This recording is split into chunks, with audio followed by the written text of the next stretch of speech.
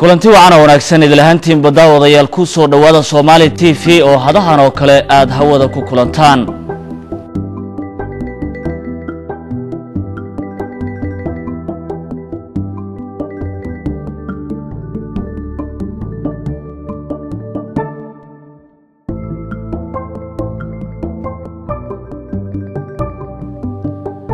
toddobaadkana daawadayaal barnaamijkeena soomaali t v ee idinkaga imaanaya gobolka minnesota gaar ahaana magaalada minneabolis waxyaabaha aynu ku soo qaadan doono islamarkaasna aynu ku eegi doono ayaa waxaa ka mid a sidaad og tihiinba dhowr bilood ka hor soomaaliya waxaa ka dhacay isbeddel baaxad leh iyadoo gudaha waddanka soomaaliya gaar ahaana magaalada muqdisho ee caasimadda waddanka lagu soo doortay dowladdii ugu horraysay oo si rasmi ah loo soo doorto gudaha waddanka soomaaliya. Muddo ka badan dhowr iyo labaatan sano wixii ka dambeeyey markii ay burburtay dowladdii dhexe ee waddanka ka jirta ee madaxweynaha ka ah maxamed siyaad barre.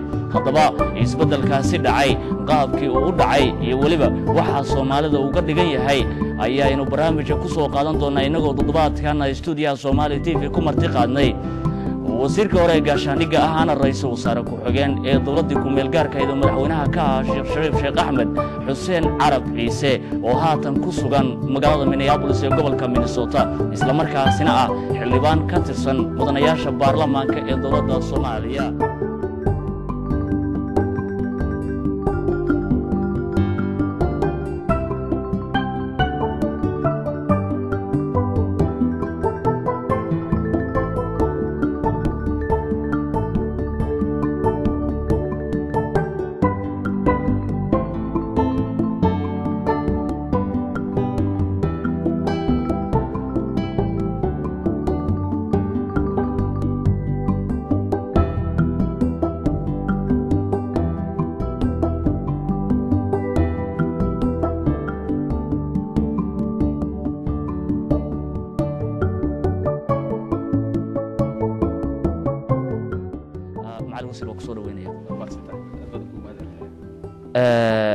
ugu horreyntii haddii aynu ku bilowno waxaan xasuustaa sanad ka hor ayaanu halkan ku kulannay adigoo markaasi ahaa wasiirka gaashaandhigga islamarkaasina ra'iisul wasaare ku-xigeen sida aan sheegayba ka tirsanaa dowladdii ku-meel gaarkahayd ee xilligaasi gudaha soomaaliya ka jirta ra'iisul wasaarahana uu ka ahaa cabdiweli maxamed cali maantana adigoo mudano baarlamaan ah ayaad ila joogtaa isla stuudiya somaali t v ee gobolka minnesota. Maxaa isbedelay marka hore waad ku mahad celinayaa sida wanaagsan ee maaragtay mar kasta halka nimaadno noogu soo dhaweysaan adiga iyo jaaliyadda soomaaliyeed ee minnesota gobolka minnesota iyo maraykan oo dhan.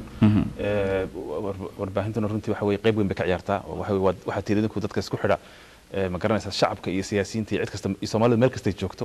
Marka runtii aad baan idinku mahad celinayaa marka aniguna waxay igu waajiba mar kastaan imaado inaan runtii idin siiyo warbixin meesha xaaladdu marayso wixii la soo maray iyo meesha lagu socdo.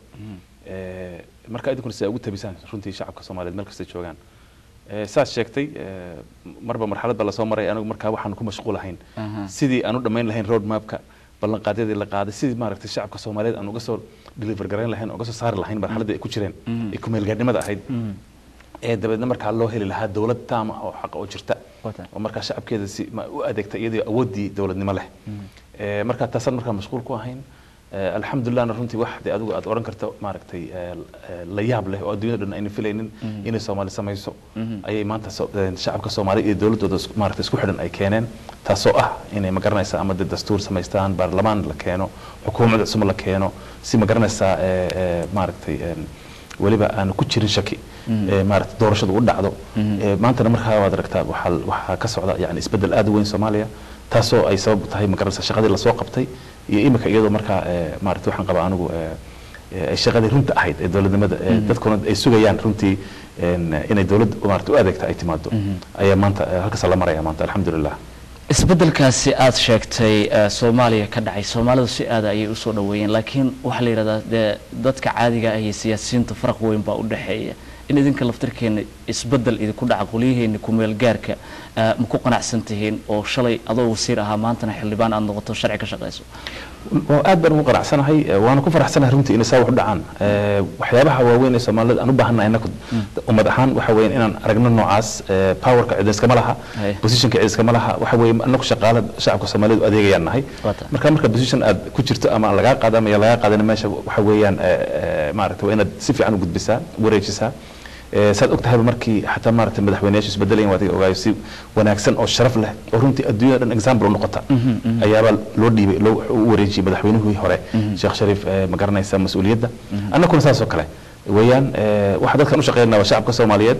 Marba ninkii la keenay positionka waxaa laga rabaa inuu si daacada oo ma garanaysa wadaninimo leh ugu shaqeeyo positionka annaguna eh, runtii eh, dani nooguma jirto wax aan u soo dhabar adeegno u soo shaqaynay inaanu burburino.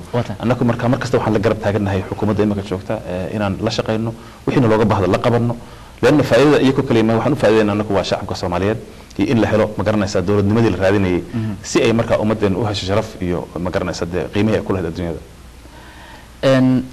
waxaan ogahay eh, gobolkan minnesota ee soomaalida faraha badan ay ku dhaqan tahay oo dee markaagii horeba dee maraykanka aad ka tagtay inta aadan soomaaliya ku laabanin si aada ayaa loo soo dhaweeyay hawsha eh, aad qabatay ama intii aad xilkaasi haysay waajibaadkii aad gudatay si aada dadku u soo dhaweeyeen munaasibadan xasuustaa gobolkan in lagugu sameeyey. Eh, hawshaasi lagugu tilmaamay waad qabatay meesladahay oo intii aad wasiirka ahayd waajibaadkii ku lagu xilsaaray waad gudatay xukuumad ahaan? Wallahi runtii eh, marka aad shaqada ku dhex jirto adigu isma ogid oo waxa annagu waxaanu islahaynuun bal mas'uuliyadda laydin saaray oo mas'uuliyadda runtii aad u weyn ahayd eh, ka soo baxa. Marka annagu waxaanu eh, runtii laakiin ammaanta anu mar kasta waxaa leh aan idhahdaa markaad eh, dadkii dhallinyarada ahaa ama eh, militariga qalab maaragtay ciidamada qalabka sida weliba xooga dalka soomaaliyeed shaqadii ay qabteen. Nimankaas duruufaha adag ku jiray. Haddana markaad aan anigu aan dhex aan arkay indhahay ku arkay. Runtii ammaanta nimankaasaa leh. Eh, rag iyo dumarba waxa weeye iyo taliyayaashooda ciidamada iyo iyo shacabka soomaaliyeed oo iyaguna markay arkeen inay daacad ka tahay runtii dib u xoreynta dalku. Garab istaagay. Iyaga ammaanta leh. Annaku waxay ahayd ilaahay baa na geliyey positionkaas eh, waxaan een, eh, ma garanaysaa waajibkiina gutun bay naga ahayd.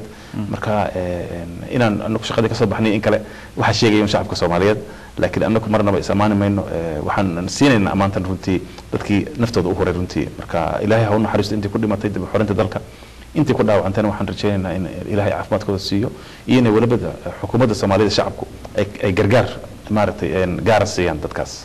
Eh, inkastoo wadanka xaalad adigi ay ka jirtay oo dagaalo iyo rabshado badani ay iska jireen oo xaaladdu marnaba aysan mid degan ahayn haddana eh, dowladihii ku-meel gaarka ah ee dalka soo maray intooda badan lama oran shaqo wanaagsan ayay qabteen oo dee hawl wanaagsan ayay guteen. En, intii aada wasiirka ahayd gaashaandhigga ma is leedahay ama ma jirtaa qodobo aada xusi karto oo aada leedahay guusha caynkaasa ayaa ii suuro gashay muddadii sanadaha ayd ee xaafiiska aan hayay oo dee difaaca aan ka shaqaynayay ama dib u dhac baa igu dhacay oo intaasoo hawl oo layga rabay ayaa ii suuragali weyday inaan sameeyo. Horta waa orno waxyaaba badan oo rabnay inaan qabano oo duruufo awgeed noo maarata samayn kara weyna way jiraan. Ta ugu weyn ay ahayd runtii annaga dhaqaale darro nagu dhacday. Xagga magan maadaama aan ahayn kumeel gaar.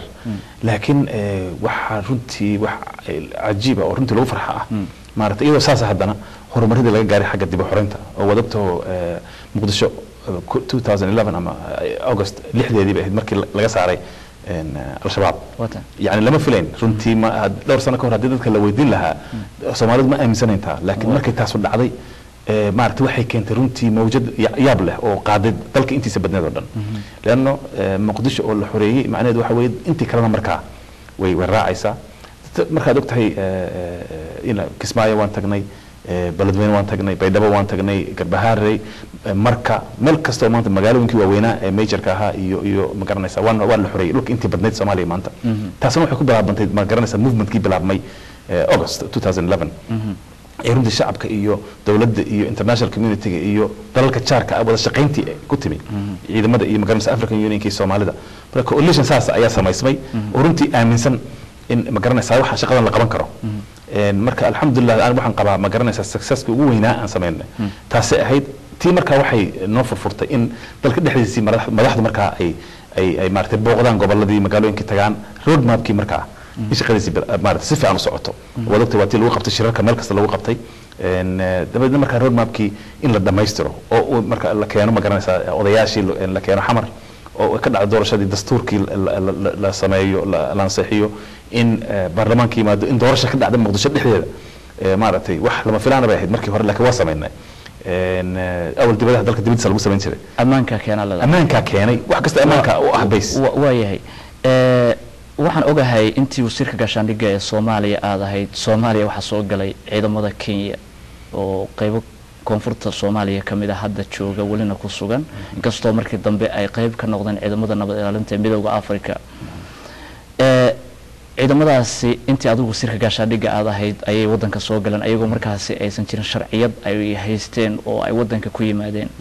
Dad baa mucaaradka iyo dadka qaarkood waxay kugu tilmaamaan ama ay yidhahdaan xuseen carab ciise ayaa horjoog u ahaa ama gundhig u ahaa in ciidamadaasi si sharci darra ay gudaha soomaaliya ku soo galaan. Waxqabadkaaga marka laga yimaado haddana dhaliishaasi waa jirtaa maxaa ka leeda waa jiraysaa dhaliil kolley nin moogtay shaqo meel mas'uul kolley markasta waa lagu dhaliilaya waxyaabaha. Qof la odhan karo boqol kiiba boqol. Waxbuu sameeye wanaaga adduunyada ma jiro laakiin runtii markaad eegto eh, ma- markaa maarata meesha la marayay eh, saan kuu sheegayba annaka istaraatiijiyada ama maaragtay dib u xoreyntu keeneba waxa weeye marka hore inaad dalalka jaarka ah aad aad aad maaragtay eh, heshiis la tahay. Haddaan marba heshiis lahayn jaarkaaga mushkilad baa kugu furan. Leanna marba albaab baa kugu furan maaragtay ama laga bixi karo lagana soo geli karo. Eh, inaad ogaadaan inaad isku dan tihiin horumarku runtii waxa weeye dalalka jaarka ah markaa isku dan tihiin ama xaq dhaqaale ama xaq siyaasadeed wada noolaan baa imaanaysa labada shacabna markaa faa'iida ugu jirta runtii. Saad og tahay berigaa eh, nimanku dhibaatay ku hayeen eh, kenya iyo iyo dhaqaalaheedaba. Annagana dhibaatay nagu hayeen. Eh, soo gelideedana saad og tahay markay soo galayeen. Waxay ku soo galeen iyaga oo maar isticmaalaya eh, xuquuqdii marka een, qawaaniintii markaa taallay internationalka ama un ama ma garanaysaa oo ahayd inay isdifaacaan ama dalkooda marka la soo ataago ama dadkooda wax la yeelo ama la afduubto inay ka daba iman karaan. Taasay ku soo galeen. Markii hore arrinta markii aan ogaanina waadiga ogaayo markaa wax la iswadaarsaday wafuud shirar baa dhacay oo waxaa communique baa la kala saxiixtay ahayd inaanu markaa eh, annaka cadow nagu ah eh, labada dalba la iska kaashado. Marka saasay ku bilaabantay saasayna ku dhacday saad ogtahayna de wixii ka dambeeyey waxay ahayd in eh, maaragtay dib loo xoreeyo regionka een, kenya saaran. Eh, maantana waadiga ogo de waa- waa- waxaaba ka dhacayaba dhowaan maaragtay maamul iyo doorasho iyo maaragtay kismaayo waadiga la galay oo og tahay waxaasoo dhan waxaan qaba ma dhici lahayn haddii labada dal ayna heshiis noocaasa geli lahayn. Marka runtii faa'iidada ka soo baxday ayaa ayaan qaba ayaa ka weyn. Laakiin maantana eh, waxaa dee joogtaba dowlad taama oo ma garanaysa so- dadka soomaaliyeed u hadli karta ay markaa in een, shaqadaas maamul samayntii regionka iyo ayaa maaragtay dee kolley dhammaystiraysa annagu laakiin qaybtaydii ama dib u xoreyn ha noqoto ama roadmapka completionkiisii xagga regionkaas ha noqoto waan samaynay. Eh, marka dhaliishu waxay noqon kartaa ha ciidan waxaad u ogolaatay inay soo galaan laakiin waxay ku timi mid eh, isdifaacayeen iyagu annaguna markii dambe aanu heshiisyo la galnay ahayd eh, inay dee qawaaniinta ilaaliyaan gudaha Soomaaliya inay iska difaacaan laakiin waa waa waa ahayd malada runtii waxaa la socday military soomaaliyeed baa jooga meesha oo oo dagaalka runtii waday. Muhiimaddana waxay ahayd in dadka meesha dhibaatada ku haya in laga saaro. Een, inay ilaaliyaan sovereignty-ga soomaaliya inay mar kastana ciidamadeedu ma garanaysaa ay leeyihiin liidka eh, ama maaragtay eh, ma garanaysa marka la gelayo meel laakiin awooddeedu runtii waad og tahay oo de- Isla- xagga militariga. Isku mid lama aha kenya inaku marka marka la joogo waqtigaa Wa- waayahay isla dowladaasi kumeel gaarka ee adigu ra'iisul wasaaraha aad ka noq ra'iisul wasaare ku-xigeenka aad ka noqotay wasiirka gaashaandhigana aad ka ahayd wasiiro dhowra oo ka tirsanaa ayaa la dilay siyaabo kala duwan gudaha magaalada muqdisho ee caasimada soomaaliya waxaana lagu dilay ayagoo waajibaad gudanaya qaarkood. Eh, qaran ay hayeen ama hawshii loo xil saarayba. Eh, waxaan ogahay qurbahaad ka tagtay markii lagu magacaabayay eh, xilka ra'iisul eh, wasaare ku-xigeenka ama wasiirka gaashaandhiga ama aduu aad xukuumaddaasi qaybta ka noqonaysay cabsi iyo walaac intee leeg ayay arrintaasi kugu haysay. Adoo eh, muddo dheer wadanka soo moogaa inaad inta tib ugu laabato haddana hawl eh, qori la isla hor fadhiya lagu dhiibo. Horta runtii you know been baan sheegay haddaan idhaahdo maaragtay eh, warwar iguma hayn markaan tegayay laakiin eh, horta marka hore allah naxariisto dadkii ma garanaysa iyagoo waajibaadkooda gudanayay wasiiradii iyo dadkii kaleba. Eh, maaragtay iyagoo lagu- dilay. Waxay runtii waa shuhadaa waan dad dalkooda iyo maaragtay u dhintay iyagoo dan dad shacabka soomaaliyeed ka shaqaynaya markaan eegana waxaan is idhi anigu ma garanaysaa eh, shaqada meesha laga wado ama ka socota ayaa ka weyn. Ama aniga ama maaragtay dadka shaqaale dowladda ku jiro kale. Waana eh, tallaabo u baahan in la qaado. Haddaan dadka soomaaliyeed u noqon dalkooda ayna iyaku isbeddelka keenin. Cid dibadda uga keenaysaa ma jirto kale ajnabi ah. Marka runtii aniga taasaa maaragtay eh, i waday inaan ah, maaragtay cala aqal wax ku maaragtay faa'iido u keeno dalka ama shacabka soomaaliya ama dadkayga aan garab istaago. Oo markaa dibad dhiska aan idhaahdo maaragtay eh, way fududahay in inta meelaha aan iska joogno aan ka hadalno. Laakiin marka aad tagto runtii waa waxa weeye waxay ku gelinaysaa shucuur kale. Eh, marka aniga taasunba ay waday mid wadananimo ah oo odhanaysa maaragtay bal qaybtaada un. Eh, maaragtay eh, ka qaado alxamdulilah uu- maaragtay aniga iyo weliba dee dadkii eh, ka shaqeynaya dowladda uu nagu gacan qabtay. Waxaan rajeynayaa insha allah eh, walow shaqadu ma dhammaanay inaan hore u sii wadno. Waayahay Eh, isla isbeddelkaasi eh, aad inta halkan ka tagtay gudaha soomaaliya tagtay hawl khatarana aada guda gashay maxaa oran kartaa muddadii aan hawshaasi ku jiray allele dhacdadaas ayaa igu xanuun badnayd ama eh, intii noloshaydu ay jirtay aan xasuusan doonaa? Wallahi way iska badan yihiin kuwaasu laakiin eh, anigu mar kasta waxaa eh, dhibaato igu hayn jiray. Maaha aniga waxa igu dhacaya aniga maaragtay shakhsiyan eh, xa- maaragtay in waxaad jeceshahay wax kasta oo aad dadka ugu ballan qaado inaad dhammaystirto. Laakiin markaad aragto runtii dhibaatada shacabka soomaaliyeed ay soo mareen koob iyo labaatankii sano. Eh, maaragtay burburka moogtahay waa la- dhisi karaa dal maaragtay ama daara waa la dhisi karaa laamiye waxaa laakiin dadka soomaaliyeed dhibaatada ay u soo adkaysteen. Runtii waxaan qabaa shacab kaloo adduunyada ku noole inaanu maaragtay iska baabi'i lahaaba waxaa la odhan lahaa dad baa jiri jiray. Laakiin shacabka soomaaliyeed somehow maaragtay eh, way way way soo mareen way soo adkaysteen. Maantana maaragtay eh, way istahlaan runtii inay helaan maaragtay dal- dowladdan ay heleen iyo xuquuqdan iyo maaragtay inay ka mid noqdaan marka dowladaha adduunyada ka mid ah ee nabadda ku nool. Marka eh, aniga dhacdooyinka igu weyn waxa weyn aan arko eh, maaragtay eh, dhaqankii isbedelay oo dadkii la baxdilay la xumeeyey eh, dadkii maaragtay aad moodo inay ka yaraan markii hore aaminaad inay iman kartaba dowladnimo iyo ka- ay ka baxday maskaxdooda. In markaa maaragtay lagu soo celiyo haddana la yidhaahdo waa waa iman kartaa dal waa waa la samayn karaa haddaan isku xidhnaano eh, eh, waa dib waa u soo celin karnaa soomaalinimadii Eh, marka waxaan qabaa annaka tana siinaysa motivationka ama hore na sii dhiirigelinaysa waxay ahayd inaan runtii dadkaa soomaaliyeed iyaku dalkiisii joogay aan marnaba dhinac u bixin in aan maaragtay runtii u shaqayno oo adeegno ay arkaan markaa inay maaragtay heli karaan dowladnimo xilligii eh, dowladdii kumeel gaarka ahayd ee adigu aad ka tirsanayd ay jirtay waxaad codsateen eh, soomaaliya in cunuqabataynta hubka laga qaado si awood ciidamadiinu ay u yeeshaan. Haddana dowladda soomaaliya ee jirta waxay dib u cusboonaysiisay codsigaas oo ay meelo badan oo caalamka hordhigtay in soomaaliya cunuqabataynta laga qaado hubka. Soomaaliya waxaan ognahay in dowladda dhexe ee hadda jirta aysan dalka guud ahaan gacanta ugu jirinin kooxihii shalay aada la dagaalamayseen ama mucaaradkii oo weli xooganna in qaybo badan oo soomaaliya weli ay ka dagaalamayaan. Sidoo kale hubku weli waxa uu gacanta ugu jiraa shacabka oo hub fara badan eh, ayaa dadku weli haystaan. Soomaaliya hadda hub kale in la soo geliyo ama cunaqabataynta hubka laga qaado way u baahantaa maslada Eh, horta mogtahay dalku hadduu marba uu noqdo dal xor ah uu yahay oo xuquuqda dalalka kale kale leh. Marka isaga maaragtay xaq buu u leeyahay in uu maaragtay ama hadduu hub la imanayo ama la imanayn. Marka imika ta laga shaqeynaya waxa weye horta cunaqabatinta xaq bay soomaaliya u leedahan laga qaado. Leanna waa dal xor oo taama oo magaranaysa haysta legitimacyigii dalalka kale oo kale. Taas waxaa soo raacaysa markaa mas'uuliyaddii waqtiga hadda lagu jiro eh, in in maaragtay hub markiiba maaragtay la soo gelin maayo maraakiib huba iska iman maysa markiiba. Waxaa iska jira tallaabooyin badan marka hore la qaadayo. Dowladdana waxaan hubaa taa way og tahay. In markaa ay basekii markaa dowladda laga rabaa inay dhisto systemkii ma garanaysa marka hubkan lagu qaban lahaa lagu ilaalin lahaa ciidamada loogu wareejin lahaa maaragtay no systemkaas dowladdu way ka shaqaynaysaa. Laakiin xuseen carab ciise waxaa og tahay xilligii dowladaha kumeelgaarka ay jireen hub siyaabo kala gedisan dowladdaasi lagu siiyey in haddana lagu dhaliilay in hubka uu mucaaradka ayaga ka soo horjeeda dowladda ka soo horjeeda uu gacanta u galay. Eh, ilaa wadanku dowladda gacanta uga wada jira mucaaradkuna weli waa ay jiraan. Maxay dhibaatada ka imaan karta maxay tahay baasilada Eh, runtii waa laga yaabaa inay dadka qaarkood mogtay dadkooda boqolkiiba boqol daacad maaha laga yaaba qof gudbiyo hub inuu jiri karo. Laakiin saas ogeyd annaku waxaanu nahay kumeelgaar markii lahaad wax kasta waxay soo mareeyeen african unionkay soo mareeyeen oo marka annakana maaragtay saasaa loo kala xisaabsanayay. Wax markaa maaragtay d- directly dowladda hub u soo degayay. Ma jirin oo de cunaqabateyntasaaba annaka no- nalagu hayay. En marka waa laga yaabaa maarata qof markaa khaayan inuu intuu hubkiisa ka iibiyo mucaaradka way dhici kartaa. Ama siyaabo kale ay mucaaradku kula soo degaan iyagu hub oo sharci ka baxsan.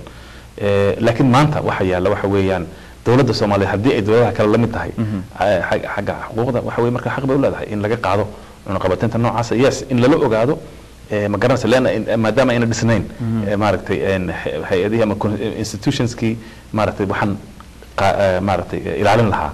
Waxa weeye in la dhiso marka hore institutionskaas systemkii lagu maamuli lahaa waxan hubkan. Marka la dhiso dabeedna markaas ayuu dalabku baxaya la keenaya hubka. Markaas tallaabooyinkaas waxa weeye waa dowladda soomaaliyeed iyadaa ka shaqaynaysa kana mas'uula. Waayahay ee soomaaliya hadda laba maalin ka hor waxaa warbaahinta ay gaar ahaana wargeysyada wadanka ingiriiska ka soo baxa ay qoreen in ciidamo ka socda wadanka ingiriiska ay tegi doonaan soomaaliya. Eh, dowladda kumeel gaarka ama dowladda soomaaliyana waxay sheegtay in ciidamadaasi ay iyadu wax badan ka saacidi doonaan sida tababarada ciidamadeeda iyo ilaalinta amniga meelaha dowladdu ay joogto. Soomaaliya ciidamadaasi hadda ay ingiriisku u diray maxay kuula muuqataa adiga wallaahi eh, waxaa anigu hadda halka ku soo maqlayn waan arkay madaxweynaha ayaa eh, hadalkaas eh, sheegay. Oo intii hadda uu meelaha ku socday safarada ku jiray. Ayaa eh, maaragtay wadahadalladaas u dhaceen. Laakiin de maanta saan kuu sheegay waxa weeyaan wax laisla ogyahay unbay noqonaysaa. Oo kolley baarlamaanka waa la soo hordhigaa waa in in loo saaraa dad waxaan eega. Aanu eegnaa wax faa'iida inay dalka u tahay iyo inaan ahayn. Marka ma ma aha yani dhiil hadda markiiba maaragtay la soo dhamaystiro la soo saxiixay.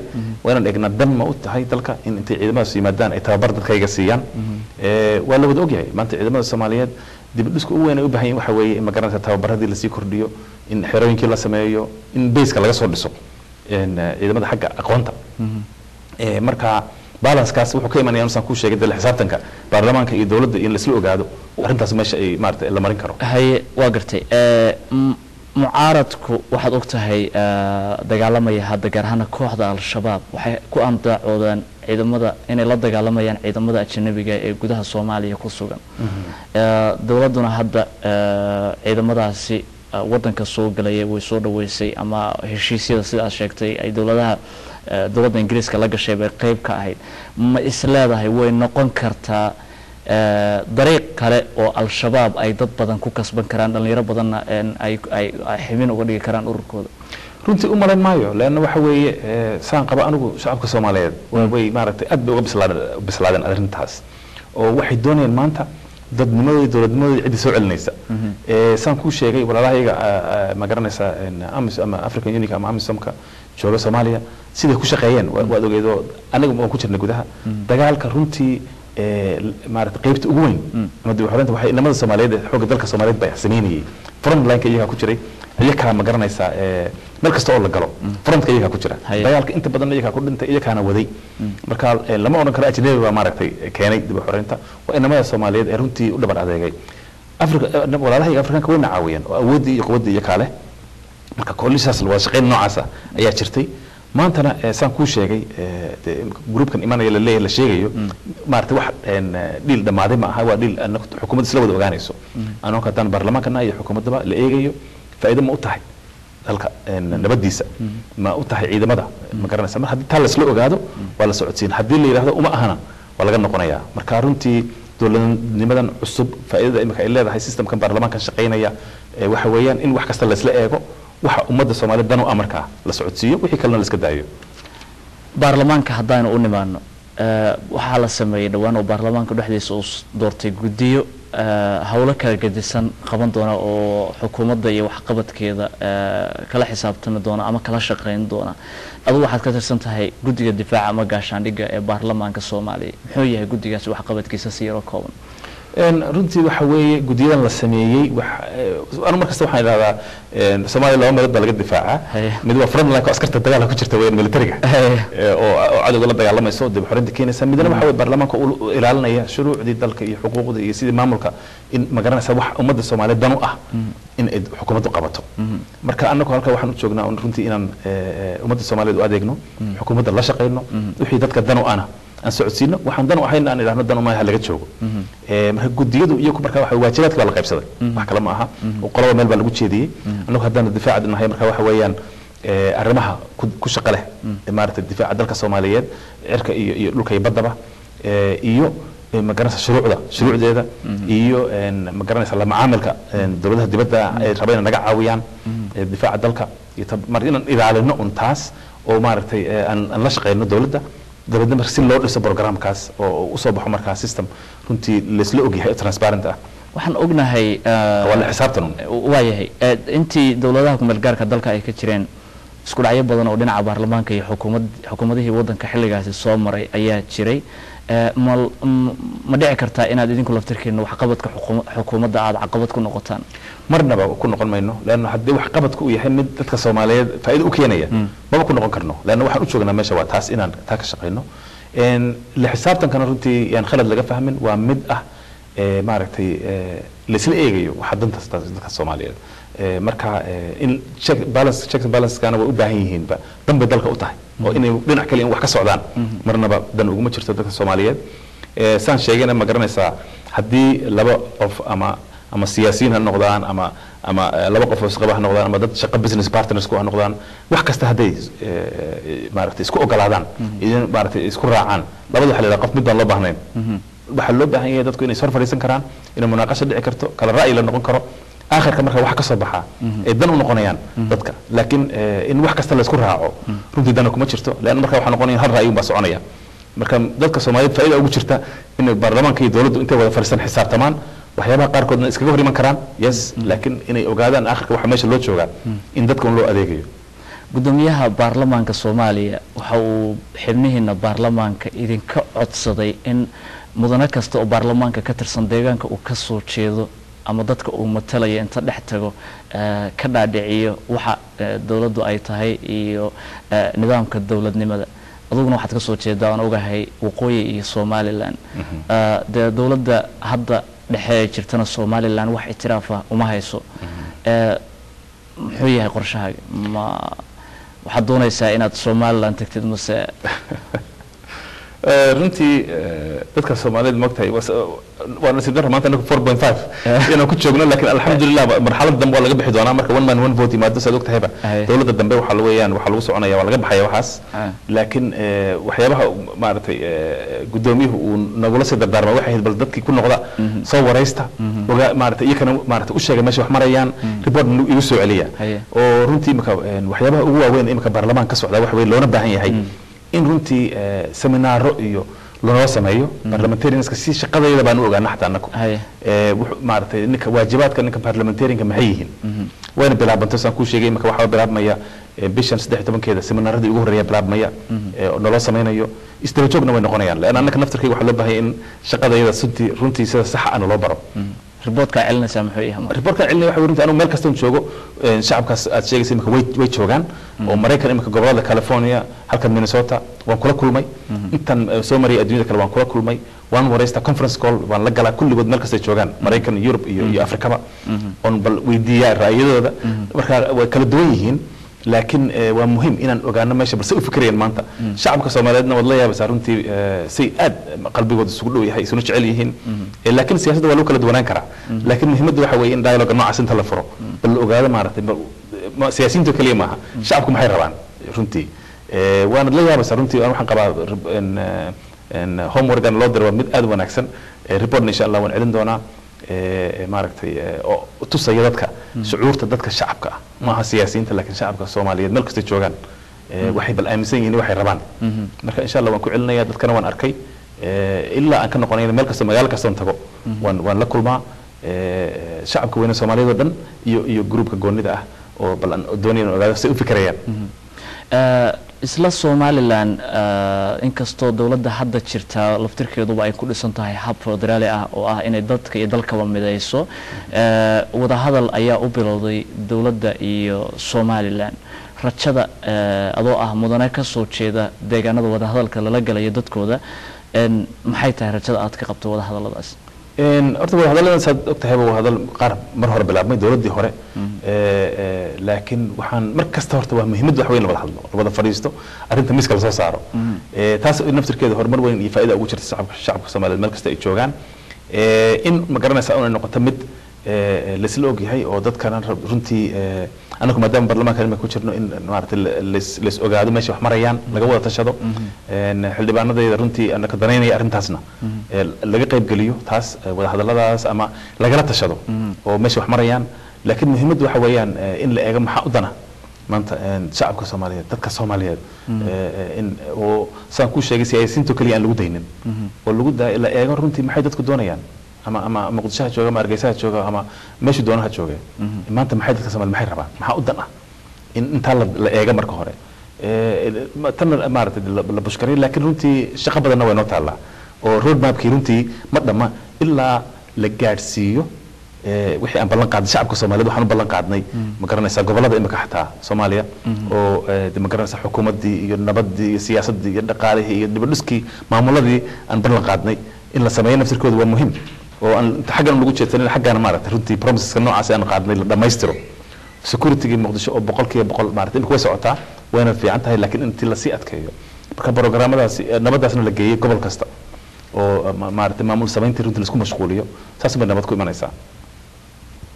Okay uh, gabagabadii waxaan doonayaa inaan ku weydiiyo. Somalilan waxaa dowladda maraykanka iyo ingiriiskaba ay ku dhawaaqeen in muwaadiniintooda ay khatar ku jiraan oo aysan ku noolaan karin cabsida la qabana waxay tahay oo dadka qaarkood ay leeyihiin shabaabkii shalay koonfurta soomaaliya lagula dagaalamaya ayaa qaxay ama uh, waxay uh, dhufaysyo ka samaysteen deegaano days iyo deegaan balla ah somalilan wasiirka gaashaandhigga ahayd xog badanna waad ka haysaa si yar oo kooban gabagabadii ma is leedahay khatartaasi way jirtaa mise wax aad is leedahay allayla arrintaasi kundhig way u noqon kartaa waa jirtaa horta runtii eh, waxa weeyaan runtii dadka walaalkaa moogta wax kasta inaad ku ama wuxuu wanaag hadduu sameyn inaad ku amaantaa runtii eh, en, dadka somaliland waxyaaba maarata ku labaatankii sano maaragtay eh, aan lama filaan ay sameeyeen. Saan ku sheegay maanta waxay mareen doorashadii lixaad ayaa dhacday ee democratic ah si nabad bay u keeneen dadkooda horumar bay keeneen iyagoo runtii aan waxyaaba badan haysan dhaqaale.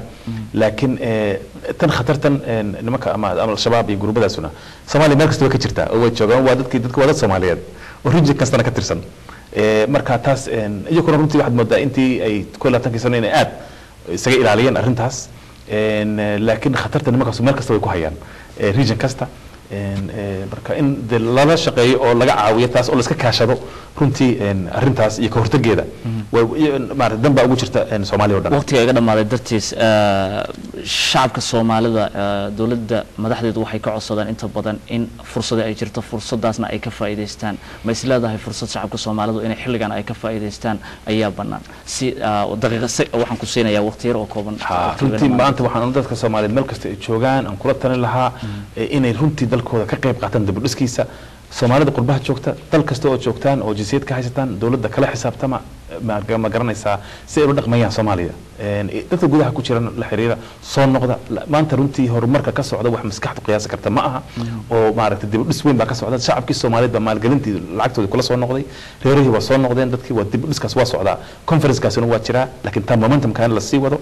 In ma garanaysaa dowladnimada laga shaqeeyo in maaragtay dadka soomaaliyeed een, mustaqbalkooda iyo laga la daneeyo si markaa inaku ah, caruurtii iyo eh, eh, marka eh, soomaaliyeed ay u helaan fursad fursadaha carruurta kale adduunyada kale iskuulkoodii caafimaadkoodii nabad inay helaan inay eh, ku kori karaan dalkooda ayna joogi karaan. Mahadsanid Ah. daawadayaalkaasi wuxuu ahaa xuseen carab ciise oo ahaa wasiirkii hore ee gaashaandhigga ahna ahaana ra'iisul wasaare ku-xigeenka dowladdii ku-meel gaarka ahayd. Haatan ah mudane ka tirsan baarlamaanka soomaaliya oo aynu stuudiyahan somaali t v toddobaadkan marti inoogu ha islamarkaasina gorfaynaya xaaladda soomaaliya xilligan ay ku sugan tahay iyo weliba isbedelada gudaha waddanka soomaaliya ka dhacay. Mahadsanid xuseen